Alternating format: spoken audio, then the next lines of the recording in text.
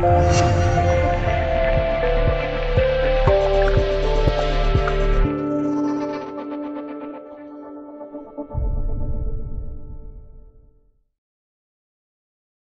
恩寺位于北京石景山区模式口大街东部，坐北朝南，占地面积一万九千平方米。寺东为三界伏魔大帝庙，西为龙王庙。明正德五年（一五一零年），司礼监太监温祥兴建。正德八年（一五一三年）竣工。明武宗自额承恩禅寺，封陆司左觉一宗，永为寺院首任住持。清乾隆二十二年（一七五七年）。道光二十三年（一八四三年）和三十年（一八五零年）三次重修，至今仍保留明初建筑格局。四周有院墙维护，寺庙为四进院落，依次为山门殿、天王殿、大雄宝殿及法堂。承恩寺院内四角有四座石砌碉楼，并有地下室。碉楼与碉楼之间有地道相通，这在北京众多寺庙中独一无二。建寺以来有三不之谜，即。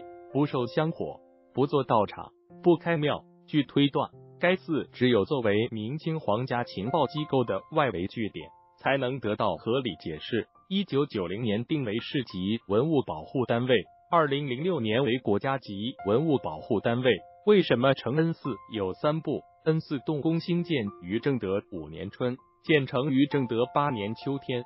寺庙的山门额上赤子“承恩寺”五个大字。是正德皇帝朱厚照的手笔。传说这座庙是太监刘瑾在唐代古刹的基础上建成的。刘瑾作恶多端，最后被凌迟处死了。他的罪名是谋反。正德五年，正是刘瑾倒台的那一年。立于正德十年的李东阳《承恩寺纪略碑文》说：“都城之西山，其宗具立甲于天下，是杀道观往往各得其胜。乃于金山之西，香山之南。”有山名曰翠微，有新沙一区，俄曰承恩，混于蒙居，见于乔苏，避而不发者久矣。细究其文，皇帝敕建的寺庙刚建成两年，怎么就会混于蒙居，见于乔苏？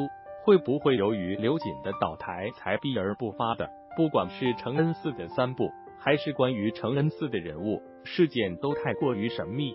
正因为这五百年来未曾开过寺门。使得很多人来到承恩寺吃了闭门羹，也同样使得这个寺庙更加神秘。